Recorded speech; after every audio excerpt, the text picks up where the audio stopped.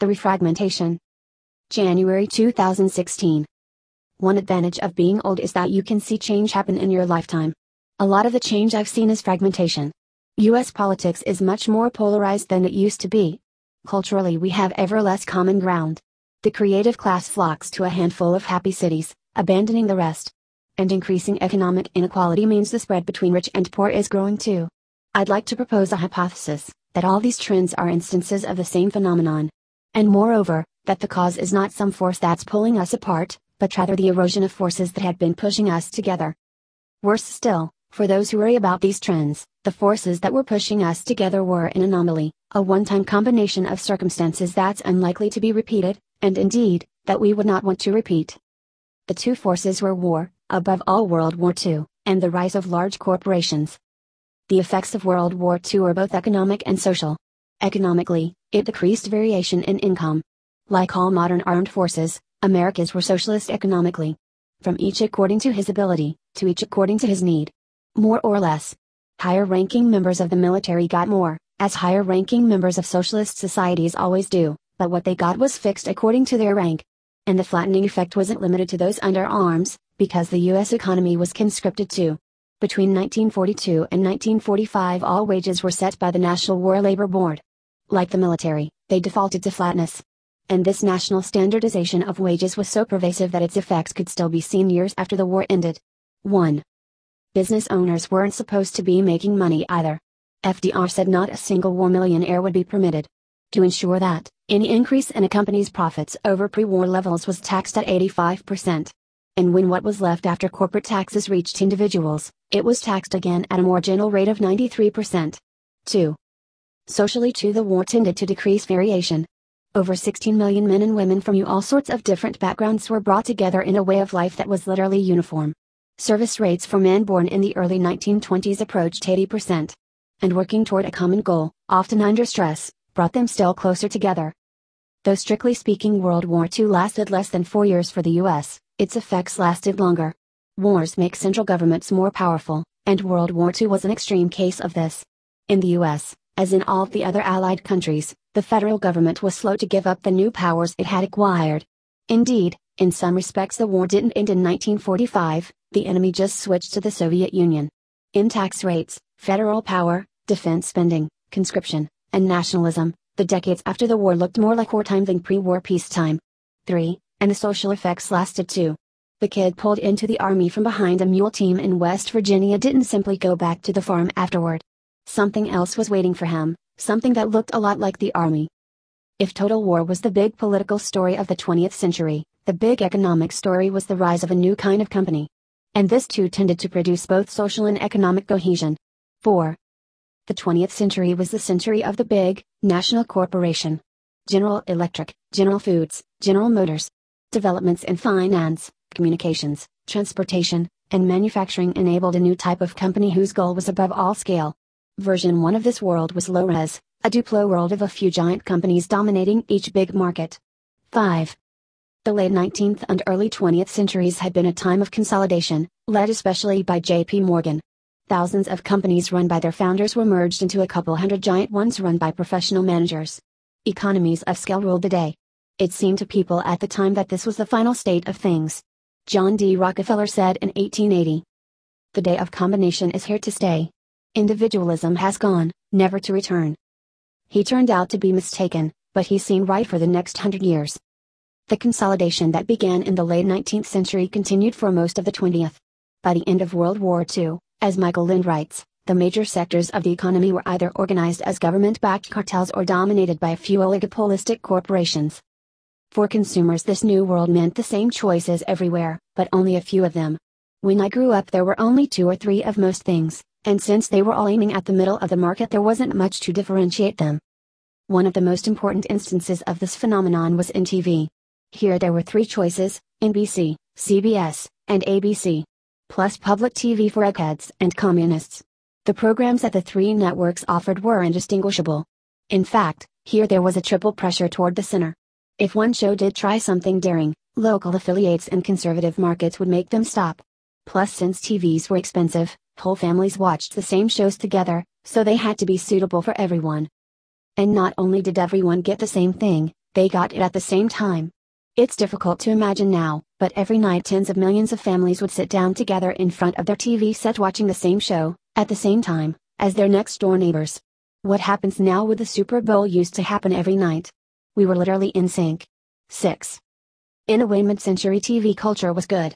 The view it gave of the world was like you'd find in a children's book, and it probably had something of the effect that, parents hope, children's books have in making people behave better.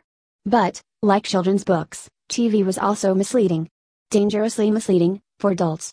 In his autobiography, Robert MacNeil talks of seeing gruesome images that had just come in from Vietnam and thinking, we can't show these to families while they're having dinner. I know how pervasive the common culture was, because I try to opt out of it, and it was practically impossible to find alternatives. When I was 13, I realized, more from internal evidence than any outside source, that the ideas we were being fed on TV were crap, and I stopped watching it. 7. But it wasn't just TV. It seemed like everything around me was crap. The politicians all saying the same things, the consumer brands making almost identical products with different labels stuck on to indicate how prestigious they were meant to be, the balloon frame houses with fake colonial skins, the cars with several feet of gratuitous metal on each end that started to fall apart after a couple of years, the red delicious apples that were red but only nominally apples. And in retrospect, it was crap. 8. But when I went looking for alternatives to fill this void, I found practically nothing. There was no internet then. The only place to look was in the chain bookstore in our local shopping mall. 9. There I found a copy of The Atlantic. I wish I could say it became a gateway into a wider world, but in fact I found it boring and incomprehensible. Like a kid tasting whiskey for the first time and pretending to like it, I preserved that magazine as carefully as if it had been a book. I'm sure I still have it somewhere. But though it was evidence that there was, somewhere, a world that wasn't red delicious, I didn't find it till college. It wasn't just as consumers that the big companies made us similar. They did as employers too. Within companies there were powerful forces pushing people toward a single model of how to look and act. IBM was particularly notorious for this, but they were only a little more extreme than other big companies. And the models of how to look and act varied little between companies. Meaning everyone within this world was expected to see more or less the same. And not just those in the corporate world, but also everyone who aspired to it, which in the middle of the 20th century meant most people who weren't already in it. For most of the 20th century, working class people tried hard to look middle class. You can see it in old photos. Few adults aspired to look dangerous in 1950. But the rise of national corporations didn't just compress us culturally. It compressed us economically too, and on both ends. Along with giant national corporations, we got giant national labor unions, and in the mid 20th century, the corporations cut deals with the unions where they paid over market price for labor. Partly because the unions were monopolies. 10. Partly because, as components of oligopolies themselves, the corporations knew they could safely pass the cost on to their customers, because their competitors would have to as well. And partly because in mid century most of the giant companies were still focused on finding new ways to milk economies of scale. Just as startups rightly pay AWS a premium over the cost of running their own servers so they can focus on growth, many of the big national corporations were willing to pay a premium for labor. 11. As well as pushing incomes up from the bottom, by overpaying unions, the big companies of the 20th century also pushed incomes down at the top, by underpaying their top management. Economist J.K. Galbraith wrote in 1967 that there are few corporations in which it would be suggested that executive salaries are at a maximum. 12. To some extent, this was an illusion. Much of the de facto pay of executives never showed up on their income tax returns, because it took the form of perks. The higher the rate of income tax, the more pressure there was to pay employees upstream of it. In the UK, where taxes were even higher than in the US, companies would even pay their kids' private school tuitions. One of the most valuable things the big companies of the mid 20th century gave their employees was job security, and this too didn't show up in tax returns or income statistics. So the nature of employment in these organizations tended to yield falsely low numbers about economic inequality. But even accounting for that, the big companies paid their best people less than market price. There was no market, the expectation was that you'd work for the same company for decades if not your whole career. 13. Your work was so illiquid there was little chance of getting market price. But that same illiquidity also encouraged you not to seek it. If the company promised to employ you till you retired and give you a pension afterward, you didn't want to extract as much from it this year as you could. You needed to take care of the company so it could take care of you. Especially when you'd been working with the same group of people for decades. If you tried to squeeze the company for more money, you were squeezing the organization that was going to take care of them. Plus, if you didn't put the company first, you wouldn't be promoted, and if you couldn't switch ladders, promotion on this one was the only way up. 14. To someone who'd spent several formative years in the armed forces, this situation didn't seem as strange as it does to us now. From their point of view, as big company executives, they were high ranking officers. They got paid a lot more than privates. They got to have expense account lunches at the best restaurants and fly around on the company's Gulfstreams. It probably didn't occur to most of them to ask if they were being paid market price. The ultimate way to get market price is to work for yourself, by starting your own company. That seems obvious to any ambitious person now. But in the mid 20th century, it was an alien concept. Not because starting one's own company seemed too ambitious, but because it didn't seem ambitious enough. Even as late as the 1970s, when I grew up, the ambitious plan was to get lots of education at prestigious institutions, and then join some other prestigious institution and work one's way up the hierarchy. Your prestige was the prestige of the institution you belonged to. People did start their own businesses, of course, but educated people rarely did, because in those days there was practically zero concept of starting what we now call a startup, a business that starts small and grows big. That was much harder to do in the mid 20th century. Starting one's own business meant starting a business that would start small and stay small. Which in those days of big companies often meant scurrying around trying to avoid being trampled by elephants. It was more prestigious to be one of the executive class riding the elephant. By the 1970s, no one stopped to wonder where the big prestigious companies had come from in the first place. It seemed like they'd always been there, like the chemical elements. And indeed, there was a double wall between ambitious kids in the 20th century and the origins of the big companies.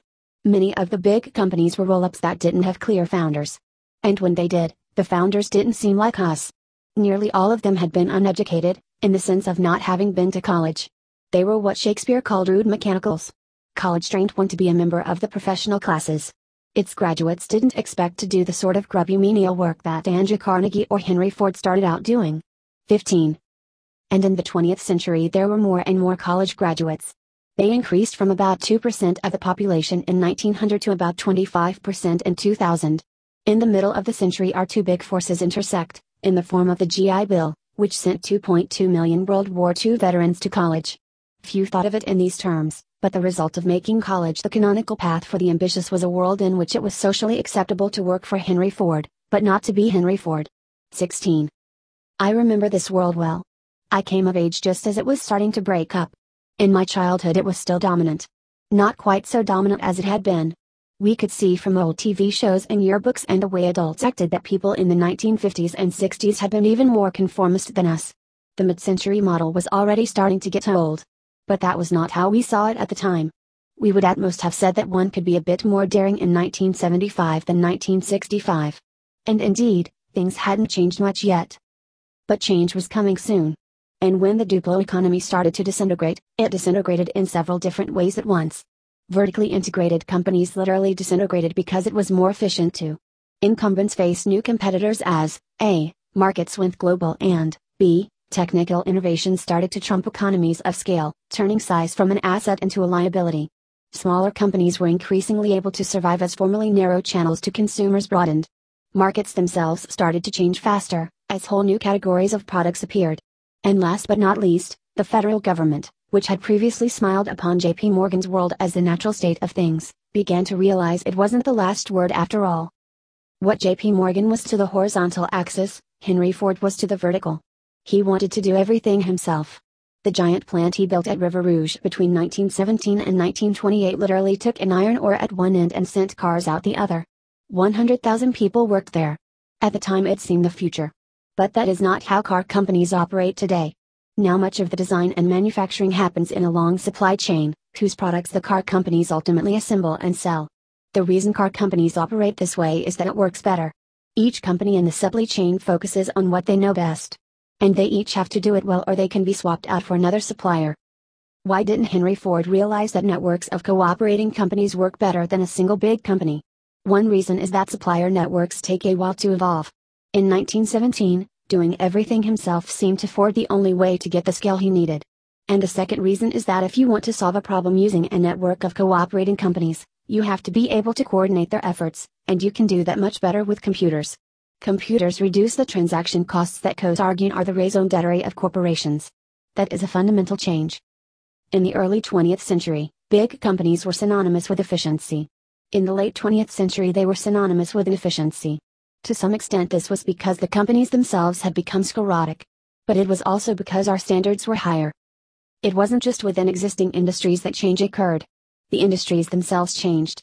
It became possible to make lots of new things, and sometimes the existing companies weren't the ones who did it best. Microcomputers are a classic example. The market was pioneered by upstarts like Apple. When it got big enough, IBM decided it was worth paying attention to. At the time, IBM completely dominated the computer industry. They assumed that all they had to do, now that this market was ripe, was to reach out and pick it. Most people at the time would have agreed with them. But what happened next illustrated how much more complicated the world had become. IBM did launch a microcomputer. Though quite successful, it did not crush Apple. But even more importantly, IBM itself ended up being supplanted by a supplier coming in from the side, from software, which didn't even seem to be the same business. IBM's big mistake was to accept a non exclusive license for DOS. It must have seen a safe move at the time. No other computer manufacturer had ever been able to outsell them. What difference did it make if other manufacturers could offer DOS too? The result of that miscalculation was an explosion of inexpensive PC clones. Microsoft now owned the PC standard, and the customer and the microcomputer business ended up being Apple versus Microsoft. Basically, Apple bumped IBM and then Microsoft stole the wallet. That sort of thing did not happen to big companies in mid-century. But it was going to happen increasingly often in the future. Change happened mostly by itself in the computer business. In other industries, legal obstacles had to be removed first. Many of the mid-century oligopolies had been anointed by the federal government with policies, and in wartime, large orders, that kept out competitors. This didn't seem as dubious to government officials at the time as it sounds to us. They felt a two party system ensured sufficient competition in politics. It ought to work for business too. Gradually, the government realized that anti competitive policies were doing more harm than good, and during the Carter administration, it started to remove them. The word used for this process was misleadingly narrow deregulation. What was really happening was de-oligopolization. It happened to one industry after another. Two of the most visible to consumers were travel and long distance phone service, which both became dramatically cheaper after deregulation. Deregulation also contributed to the wave of hostile takeovers in the 1980s. In the old days, the only limit on the inefficiency of companies, short of actual bankruptcy, was the inefficiency of their competitors. Now companies had to face absolute rather than relative standards. Any public company that didn't generate sufficient returns on its assets risked having its management replaced with one that would. Often the new managers did this by breaking companies up into components that were more valuable separately. 17. Version 1 of the national economy consisted of a few big blocks whose relationships were negotiated in back rooms by a handful of executives, politicians, regulators, and labor leaders. Version 2 was higher resolution, there were more companies, of more different sizes, making more different things, and their relationships changed faster. In this world there were still plenty of backroom negotiations, but more was left to market forces, which further accelerated the fragmentation. It's a little misleading to talk of versions when describing a gradual process, but not as misleading as it might seem. There was a lot of change in a few decades, and what we ended up with was qualitatively different. The companies in the S&P 500 in 1958 had been there an average of 61 years. By 2012 that number was 18 years. 18. The breakup of the Duplo economy happened simultaneously with the spread of computing power. To what extent were computers a precondition? It would take a book to answer that. Obviously, the spread of computing power was a precondition for the rise of startups. I suspect it was for most of what happened in finance too. But was it a precondition for globalization or the LBO wave? I don't know, but I wouldn't discount the possibility. It may be that the refragmentation was driven by computers in the way the Industrial Revolution was driven by steam engines. Whether or not computers were a precondition, they have certainly accelerated it. The new fluidity of companies changed people's relationships with their employers. Why climb a corporate ladder that might be yanked out from under you? Ambitious people started to think of a career less as climbing a single ladder than as a series of jobs that might be at different companies. More movement, or even potential movement, between companies introduced more competition in salaries. Plus, as companies became smaller, it became easier to estimate how much an employee contributed to the company's revenue. Both changes drove salaries toward market price. And since people vary dramatically in productivity, paying market price meant salaries started to diverge. By no coincidence, it was in the early 1980s that the term yuppie was coined. That word is not much used now, because the phenomenon it describes is so taken for granted, but at the time it was a label for something novel. Yuppies were young professionals who made lots of money. To someone in their 20s today, this wouldn't seem worth naming. Why wouldn't young professionals make lots of money? But until the 1980s, being underpaid early in your career was part of what it meant to be a professional. Young professionals were paying their dues, working their way up the ladder. The rewards would come later. What was novel about Yuppies was that they wanted market price for the work they were doing now. The first Yuppies did not work for startups. That was still in the future. Nor did they work for big companies. They were professionals working in fields like law, finance, and consulting. But their example rapidly inspired their peers. Once they saw that new BMW 325i, they wanted one too. Underpaying people at the beginning of their career only works if everyone does it. Once some employer breaks ranks, everyone else has to, or they can't get good people. And once started this process spreads through the whole economy, because at the beginnings of people's careers they can easily switch not merely employers but industries. But not all young professionals benefited. You had to produce to get paid a lot. It was no coincidence that the first yuppies worked in fields where it was easy to measure that. More generally, an idea was returning whose name sounds old fashioned precisely because it was so rare for so long that you could make your fortune. As in the past, there were multiple ways to do it. Some made their fortunes by creating wealth, and others by playing zero sum games. But once it became possible to make one's fortune, the ambitious had to decide whether or not to. A physicist who chose physics over Wall Street in 1990 was making a sacrifice that a physicist in 1960 didn't have to think about. The idea even flowed back into big companies. CEOs of big companies make more now than they used to, and I think much of the reason is prestige. In 1960, corporate CEOs had immense prestige. They were the winners of the only economic game in town. But if they made as little now as they did then, in real dollar terms, they'd seem like small fry compared to professional athletes and whiz kids making millions from startups and hedge funds. They don't like that idea, so now they try to get as much as they can, which is more than they had been getting. 19. Meanwhile, a similar fragmentation was happening at the other end of the economic scale. As big companies' oligopolies became less secure, they were less able to pass costs on to customers and thus less willing to overpay for labor. And as the Duplo world of a few big blocks fragmented into many companies of different sizes, some of them overseas, it became harder for unions to enforce their monopolies. As a result, workers' wages also tended toward market price. Which, inevitably, if unions had been doing their job, tended to be lower perhaps dramatically so, if automation had decreased the need for some kind of work. And just as the mid century model induced social as well as economic cohesion, its breakup brought social as well as economic fragmentation. People started to dress and act differently. Those who would later be called the creative class became more mobile. People who didn't care much for religion felt less pressure to go to church for appearance's sake, while those who liked it a lot opted for increasingly colorful forms. Some switched from meatloaf to tofu, and others to hot pockets. Some switched from driving Ford sedans to driving small imported cars, and others to driving SUVs. Kids who went to private schools or wished they did started to dress preppy, and kids who wanted to seem rebellious made a conscious effort to look disreputable. In a hundred ways, people spread apart. 20. Almost four decades later, fragmentation is still increasing. Has it been net good or bad? I don't know, the question may be unanswerable. Not entirely bad though. We take for granted the forms of fragmentation we like, and worry only about the ones we don't. But as someone who caught the tail end of mid century conformism, I can tell you it was no utopia. 21. My goal here is not to say whether fragmentation has been good or bad, just to explain why it's happening. With the centripetal forces of total war and 20th century oligopoly mostly gone, what will happen next? And more specifically, is it possible to reverse some of the fragmentation we've seen? If it is, it will have to happen piecemeal. You can't reproduce mid-century cohesion the way it was originally produced. It would be insane to go to war just to induce more national unity. And once you understand the degree to which the economic history of the 20th century was a low-res version 1, it's clear you can't reproduce that either. 20th century cohesion was something that happened at least in a sense naturally. The war was due mostly to external forces, and the Duplo economy was an evolutionary phase. If you want cohesion now, you'd have to induce it deliberately. And it's not obvious how? I suspect the best we'll be able to do is address the symptoms of fragmentation. But that may be enough. The form of fragmentation people worry most about lately is economic inequality, and if you want to eliminate that, you're up against a truly formidable headwind, one that has been in operation since the Stone Age technology. Technology is a lever. It magnifies work. And the lever not only grows increasingly long, but the rate at which it grows is itself increasing. which in turn means the variation in the amount of wealth people can create has not only been increasing, but accelerating. The unusual conditions that prevailed in the mid 20th century masked this underlying trend.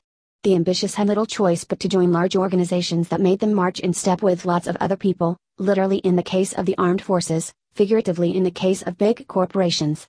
Even if the big corporations had wanted to pay people proportionate to their value, they couldn't have figured out how? But that constraint has gone now. Ever since it started to erode in the 1970s, we've seen the underlying forces at work again. 22. Not everyone who gets rich now does it by creating wealth, certainly. But a significant number do, and the Baumol effect means all their peers get dragged along too. 23. And as long as it's possible to get rich by creating wealth, the default tendency will be for economic inequality to increase. Even if you eliminate all the other ways to get rich. You can mitigate this with subsidies at the bottom and taxes at the top, but unless taxes are high enough to discourage people from creating wealth, you're always going to be fighting a losing battle against increasing variation in productivity. 24. That form of fragmentation, like the others, is here to stay. Or rather, back to stay. Nothing is forever, but the tendency toward fragmentation should be more forever than most things, precisely because it's not due to any particular cause. It's simply a reversion to the mean. When Rockefeller said individualism was gone, he was right for a hundred years. It's back now, and that's likely to be true for longer. I worry that if we don't acknowledge this, we're headed for trouble.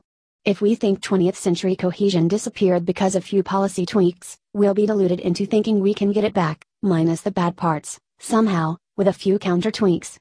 And then we'll waste our time trying to eliminate fragmentation, when we'd be better off thinking about how to mitigate its consequences. Notes 1. Lester Thurow, writing in 1975, said the wage differentials prevailing at the end of World War II had become so embedded that they were regarded as just even after the egalitarian pressures of World War II had disappeared. Basically, the same differentials exist to this day, 30 years later. But Goldin and Margo think market forces in the post-war period also helped preserve the wartime compression of wages, specifically increased demand for unskilled workers, and oversupply of educated ones. Oddly enough, the American custom of having employers pay for health insurance derives from efforts by businesses to circumvent NWLB wage controls in order to attract workers. 2. As always, tax rates don't tell the whole story. There were lots of exemptions, especially for individuals. And in World War II, the tax codes were so new that the government had little acquired immunity to tax avoidance. If the rich paid high taxes during the war, it was more because they wanted to than because they had to. After the war, federal tax receipts as a percentage of GDP were about the same as they are now. In fact, for the entire period since the war, tax receipts have stayed close to 18% of GDP, despite dramatic changes in tax rates. The lowest point occurred when marginal income tax rates were highest, 14.1% in 1950. Looking at the data, it's hard to avoid the conclusion that tax rates have had little effect on what people actually paid.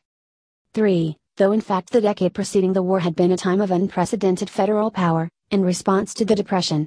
Which is not entirely a coincidence, because the Depression was one of the causes of the war. In many ways, the New Deal was a sort of dress rehearsal for the measures the federal government took during wartime. The wartime versions were much more drastic and more pervasive, though. As Anthony Badger wrote, for many Americans, the decisive change in their experiences came not with a New Deal but with World War II. 4. I don't know enough about the origins of the world wars to say, but it's not inconceivable they were connected to the rise of big corporations. If that were the case, 20th century cohesion would have a single cause. 5. More precisely, there was a bimodal economy consisting, in Galbraith's words, of the world of the technically dynamic, massively capitalized and highly organized corporations on the one hand and the hundreds of thousands of small and traditional proprietors on the other. Money, prestige, and power were concentrated in the former, and there was near zero crossover. 6. I wonder how much of the decline in families eating together was due to the decline in families watching TV together afterward. 7. I know when this happened because it was the season Dallas premiered. Everyone else was talking about what was happening on Dallas, and I had no idea what they meant. 8. I didn't realize it till I started doing research for this essay, but the meretriciousness of the products I grew up with is a well known byproduct of oligopoly. When companies can't compete on price, they compete on tail fins. 9. Monroeville Mall was at the time of its completion in 1969 the largest in the country. In the late 1970s the movie Dawn of the Dead was shot there.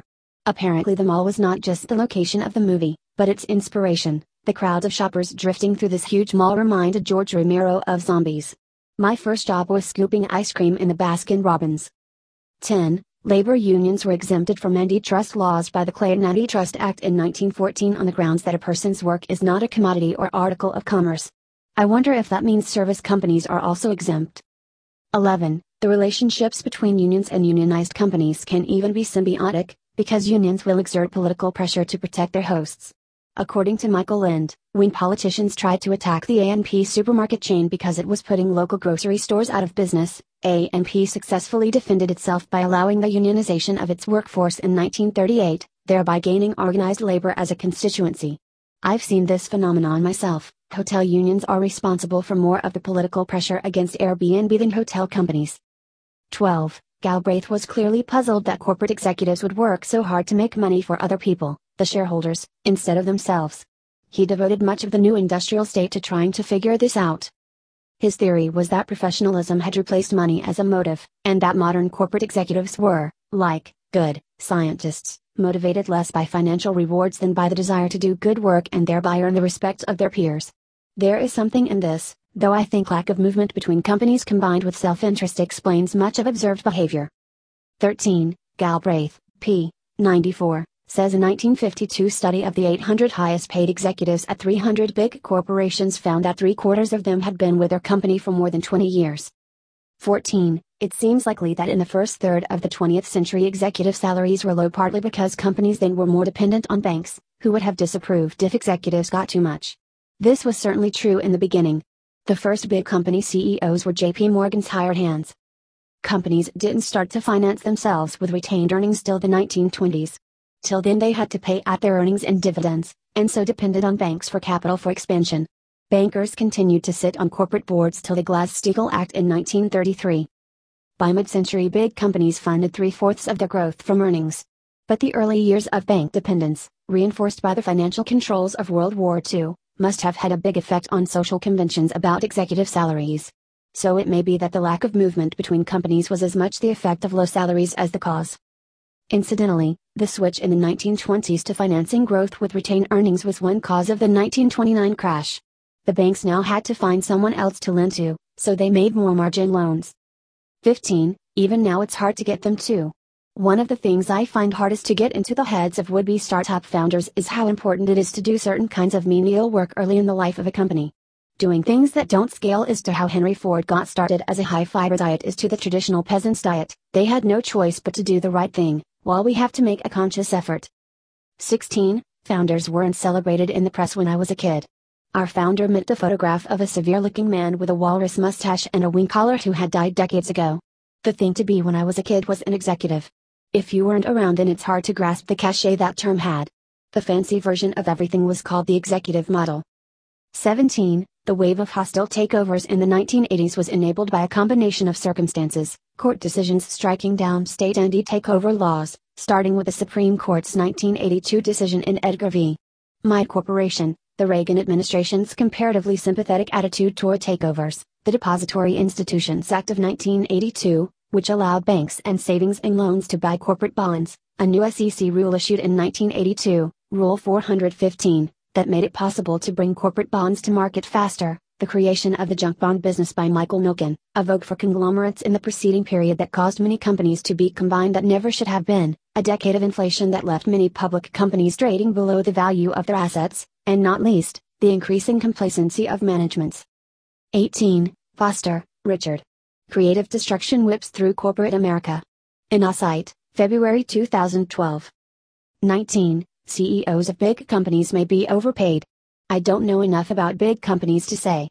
But it is certainly not impossible for a CEO to make 200x as much difference to a company's revenues as the average employee. Look at what Steve Jobs did for Apple when he came back as CEO. It would have been a good deal for the board to give him 95% of the company. Apple's market cap the day Steve came back in July 1997 was 1.73 billion. 5% of Apple now, January 2016, would be worth about 30 billion. And it would not be if Steve hadn't come back, Apple probably wouldn't even exist anymore. Merely including Steve in the sample might be enough to answer the question of whether public company CEOs in the aggregate are overpaid. And that is not as facile a trick as it might seem, because the broader your holdings, the more the aggregate is what you care about. 20. The late 1960s were famous for social upheaval. but that was more rebellion, which can happen in any era if people are provoked sufficiently, than fragmentation. You're not seeing fragmentation unless you see people breaking off to both left and right. 21. Globally, the trend has been in the other direction. While the US is becoming more fragmented, the world as a whole is becoming less fragmented, and mostly in good ways. 22. There were a handful of ways to make a fortune in the mid 20th century. The main one was drilling for oil, which was open to newcomers because it was not something big companies could dominate through economies of scale. How did individuals accumulate large fortunes in an era of such high taxes? Giant tax loopholes defended by two of the most powerful men in Congress, Sam Rayburn, and Lyndon Johnson. But becoming a Texas oilman was not in 1950 something one could aspire to the way starting a startup or going to work on Wall Street were in 2000, because, A, there was a strong local component and, B, success depended so much on luck. 23. The Baumol effect induced by startups is very visible in Silicon Valley. Google will pay people millions of dollars a year to keep them from leaving to start or join startups. 24. I'm not claiming variation in productivity is the only cause of economic inequality in the US. But it's a significant cause, and it will become as big a cause as it needs to, in the sense that if you ban other ways to get rich, people who want to get rich will use this route instead. Thanks to Sam Altman, Trevor Blackwell, Paul Buchheit, Patrick Collison, Ron Conway, Chris Dixon, Benedict Evans, Richard Florida, Ben Horowitz, Jessica Livingston, Robert Morris, Tim O'Reilly, Jeff Ralston, Max Roser, Alexia Tsotsis, and Qasar Younis for reading drafts of this. Max also told me about several valuable sources.